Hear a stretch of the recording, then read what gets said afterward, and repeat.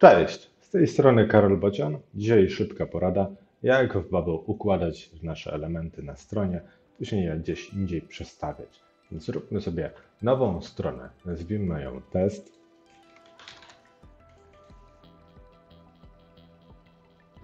I aby ułożyć sobie jakiś element tutaj, możemy sobie wrzucić go po prostu w odpowiednie miejsce.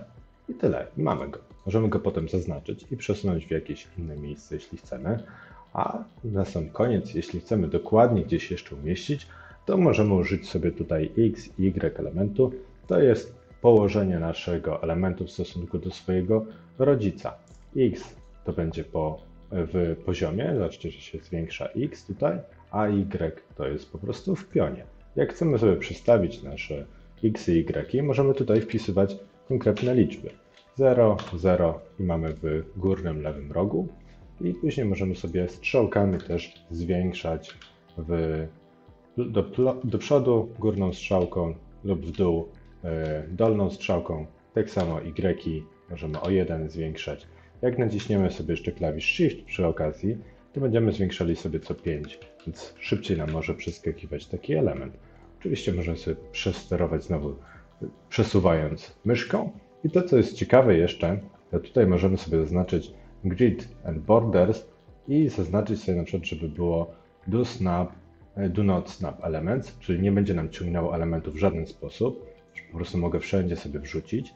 Mogę dorzucić jeszcze jakieś inne elementy.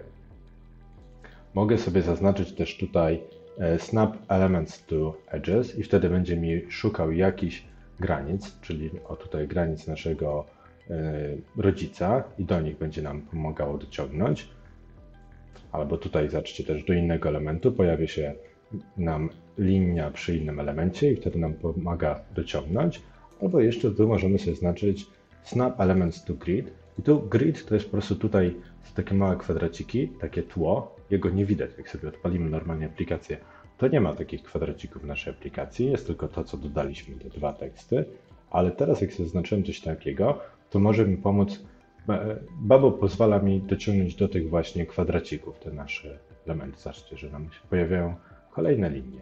Tutaj jeszcze mogę sobie znaczyć snap to edges in the grid, więc pomoże mi to i dociągnąć do tych elementów z grida, do tych kwadracików, ale też do innych kontrolek, które mamy w naszej aplikacji, więc jak mogę sobie dorzucić coś takiego, to nagle mamy sobie naszą tekst, który się kończy gdzieś poza tym kwadracikiem, gdzieś po, nie w połowie, ale nie całkowicie. Zobaczcie, ten element łatwo mi dociągnąć do tego elementu, kiedy mam po prostu zaznaczone sobie snap to and grid. Teraz mogę sobie znowu dwa razy szybko kliknąć, na przykład zwiększyć o 5, czyli w dół, odsunąć troszeczkę ten element i tym mega prostym sposobem po prostu złap i przeciągnij. Mogę sobie przesuwać różne elementy na naszym gridzie i ustawiać, jak to ma wyglądać w naszej aplikacji. To tyle na dzisiaj z mojej strony. Dziękuję za Twoją uwagę i zapraszam do moich kolejnych materiałów. Cześć!